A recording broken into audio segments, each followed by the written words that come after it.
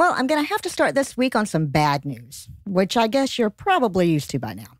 But I'm sorry to report that despite months long nationwide protests, Poland's widely restrictive abortion law went into effect. And though we already covered this law before, I feel like I should remind you that even before this change, it was damn near impossible to get an abortion in Poland. In fact, their laws are so restrictive that only 1,100 abortions were performed all of last year. That's in a country of nearly 40 million. Like, as restrictive as we are in the US, we still have more than 100 times as many abortions per capita. Now, of those 1,100 cases last year, 1,074 were because of fetal abnormality. That's one of the few acceptable reasons left in the country, or at least it was before this bullshit new law went into effect. They were already 100 times more restrictive than the US, and now they've gotten 50 times more restrictive. And I'm no expert in Polish politics, of course, but as near as I can tell, this is exactly what a country looks like when you get a Donald Trump that actually means all the right wing bullshit he says to fire up his base.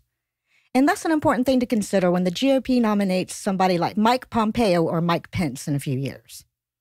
But after news like that, I owe you something a bit more uplifting. And if you need a smile these days, you're never very far from a new video from a pissed off evangelical pastor who's very unhappy that they don't still have their bigot president. And we got that this week in the form of Pastor Steve Swofford. And if that name rings a bell, it's going to be because he made the news for ignoring allegations of sexual abuse by a former youth pastor in the 90s. And since that's what passes for moral authority in Christian circles, he's still at the pulpit. And he's got himself a fun little pet name for our vice president, Jezebel Harris. So here's the quote in all of its narrow minded glory. Quote, now we're going to have a newly elected, cognitively dysfunctional president. And what if something happens to him? Then Jezebel has to take over. Jezebel Harris, isn't that her name? So, quick reminder if it's been a while since your last Bible study Jezebel was Ahab's wife, and she instituted worship of pagan gods on a national scale. And the part where she gets thrown out of a window and trampled to death for being an uppity bitch is evangelicals' favorite part of the Bible to jack off to. Needless to say, it's their go to insult for any woman with power. Perhaps it doesn't occur to them that what they're saying is Kamala Harris could whip their religion's ass if she wanted. And last but not least, look, I've got to admit, it can be tough to choose an arch nemesis, especially in my line of work. There are so many good choices, and there's so much pressure to choose the right one.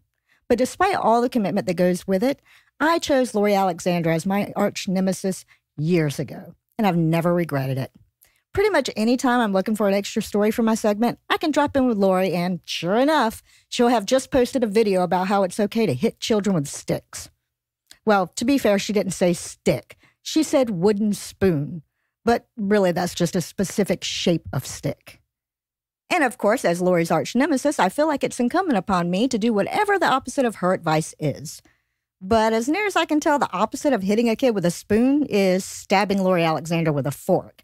And considering that Andrew got all sweaty when I asked him about it, I think we'll have to wait on that one. And while I wait, I'll hand you back over to Noah and Eli.